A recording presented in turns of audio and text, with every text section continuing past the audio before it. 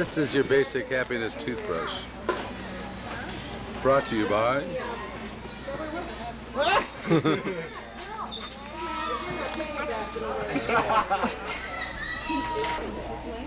Alrighty. Welcome to the Kinky Hour. Here we have, for my baby with love. Oh, oh, put it away, Carl. Put, it, it. put that in your pipe and smoke it. What is he doing? You're checking out. What? when you have nothing else to do at a picnic.